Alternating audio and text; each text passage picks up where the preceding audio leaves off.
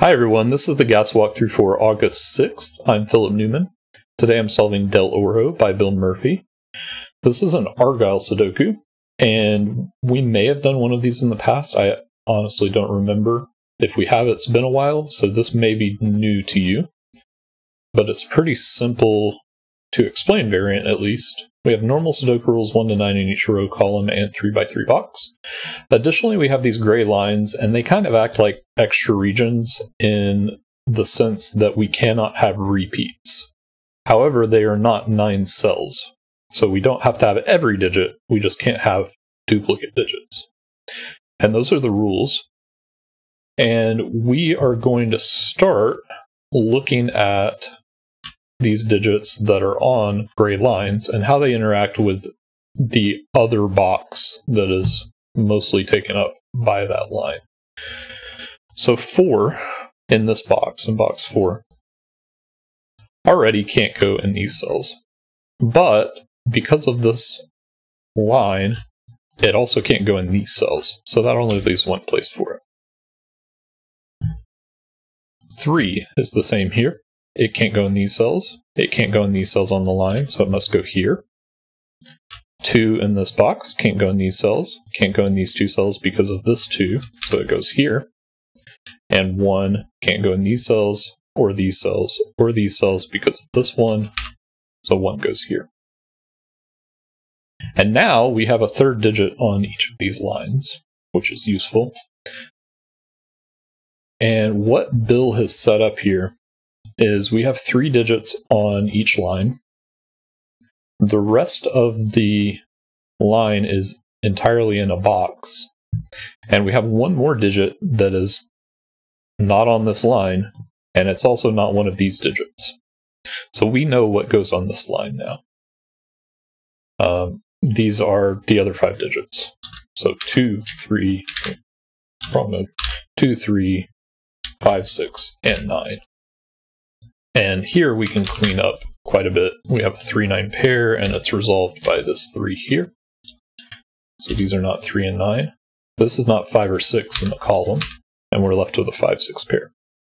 Now, the other way we could have looked at that is, just like we did with the 4, where do 1 and 8 go in this box? They don't go on this line, and they're not here, so we have a 1-8 pair here. So this is 8, and this is 1. So whichever way you want to see that, uh, this was 9, 3. This was 2 and a 5, 6 pair. And we'll keep going around this way. We have 4, 7, 3, and 6. So these are the other digits. The 4 and 7 must go in these cells, and we have a 4 here. These are 1, 2, 5, 8, 9. And the 8 can't go in any of these cells, so it's going to go here. Go ahead and mark this. I'm having trouble visualizing. And I don't think this is a totally symmetric puzzle, so it may not clean up any more than that yet. All right, here we have two, three, six, and a 5 in the box. So our 3, 6 needs to go here, and that's resolved from this 3. These are the remaining digits. Uh, these also can't be four, seven, eight, and that can't be 1, so this is 9, 1. This is 4 from the 7 and 8, and then we have a 7 and 8 from that 8. And now that 6 is going to resolve 5 and 6. So it may just be that the uh, middle band is more restricted than the stack. So let's look here. We need 4 and 7 in this row. We need 2 and 5 here. It's not resolved, but that does give us a triple here. And then these are 1, 3, and 9. Um, and since we have the 259 triple here, this is going to have to be 3, and our remaining digit up here is 7. Alright, let's go ahead and look at this line. We have 1, 2, 5, and 8. The 2 and 5 can only go in these cells. So this is 5, 2. We're left with a 6 needing to go here, Three can't go in those, so it goes here, four, and nine from that four. Then the nine looks down for one and nine. The five looks down for two and five. Can't type the right digits today. Um, that has to be 1 and 5 now. And that's the central cross done. And now we're just finishing up with Sudoku at this point. All the lines are done. So we need a 6 in this row. So it's got to go there. These are 3 and 7.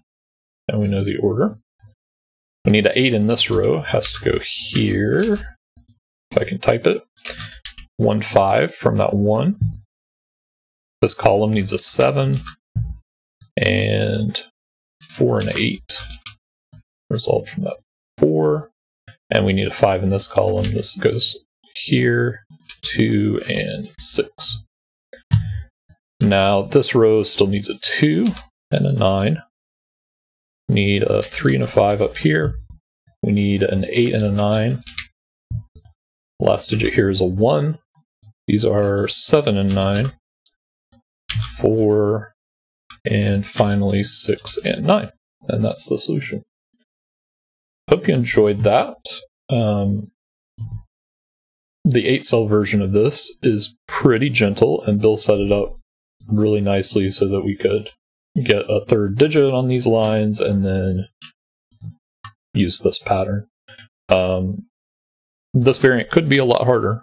Um, I haven't, I don't think, tried to I don't think I've tried to set one of these. Um, certainly not a harder one. So maybe I'll do that sometime and it'll show up in the gas leak. But anyway, let us know how you did in the comments. Um, and I will see you next time.